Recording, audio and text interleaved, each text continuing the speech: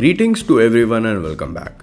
This is BOXcilloscope, a homemade portable oscilloscope that runs completely on battery power, making it portable and simple to carry around.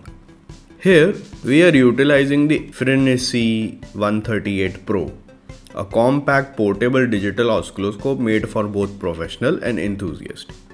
The idea was to create a scope that resembles a box is incredibly portable and has a built-in battery pack to operate the device. The name BOXcilloscope is a play on words as we have designed the scope to look like a small box.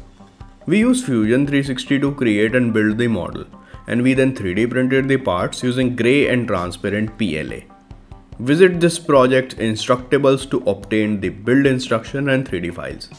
Inside the device there is a power module that uses four parallel lithium cells to boost the voltage of cells from 3.7 volt to 5 volt and generate a steady 3 amp current.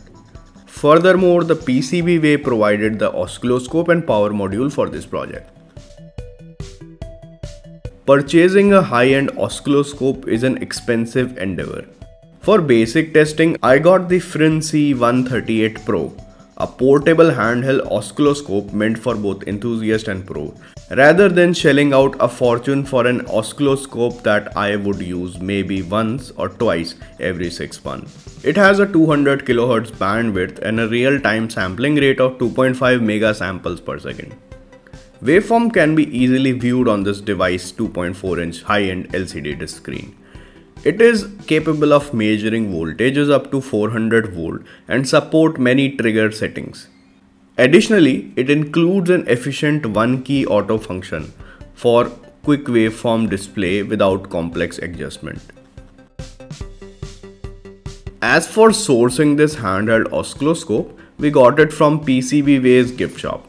PCBWay Gift Shop is an online marketplace where you can get a variety of electronics module and board for their genuine price. Or you could use PCBWay currency which is called beans. You get beans after ordering something from PCBWay as reward points or you can get them by posting any project in their PCBWay community. Over the past 10 years, PCBWay has distinguished themselves by providing outstanding PCB and manufacturing services becoming a trusted partner for countless engineers and designers worldwide.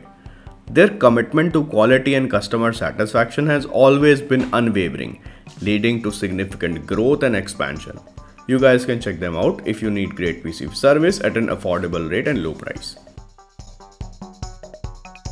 The prepared model was made up of two primary parts.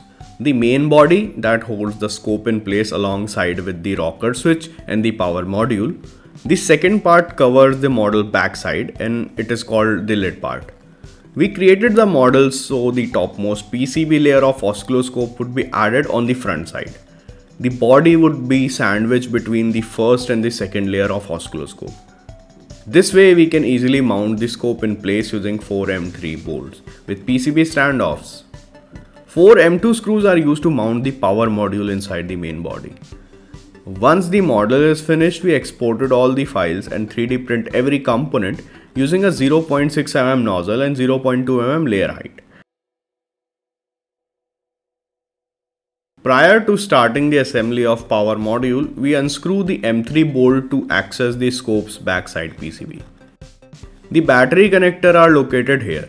We solder connecting wires to the battery CON 2 connector which is subsequently linked to the 5 volt and ground terminal of the power module. Next, we added the scope backside PCB in its place again. When the power module push button is pressed, the scope turns on indicating that the setup is functioning. The final phase in assembly process is to remove the scope's top layer first. After that we align the mounting holes on the scope with the mounting holes on the main body by positioning the scope inside the body. After aligning the top layer of the scope with the body's mounting holes, we place the top layer on the front side of the main body and then fasten it securely with the M3 bolts.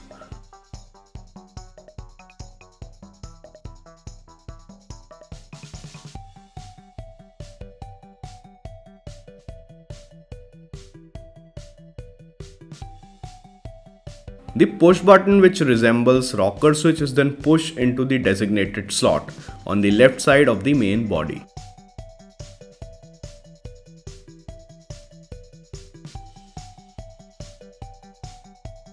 Next, we connected the rocker switch terminals to the power module's push button. These two buttons will be wired in parallel.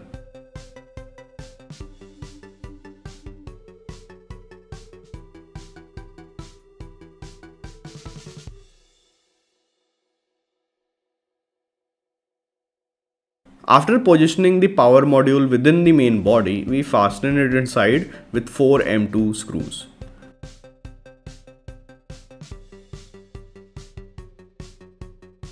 After that the lid part is positioned on the back and fastened using M2 screws.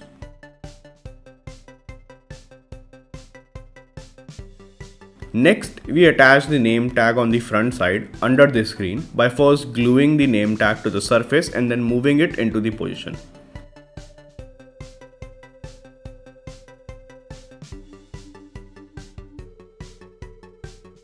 The assembly process is now completed. The result is a compact portable box shaped oscilloscope with an inbuilt battery pack that we can use to examine any electronic component or device. The device turn on when the rocker switch is pressed for 1 second and then off when it is pressed for 3 seconds. For testing the BOXcilloscope, we started out by connecting the 10x probe to the oscilloscope BNC port.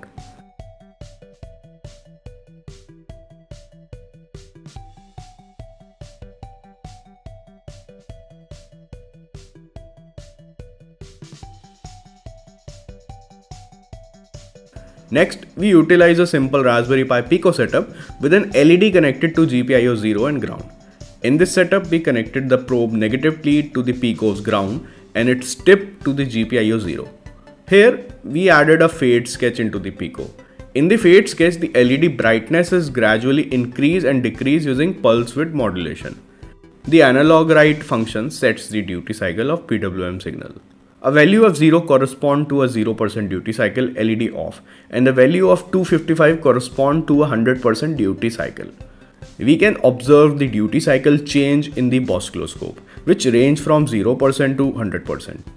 This occurs at a linear pace and quite quickly. The signal wave shape is also being observed here.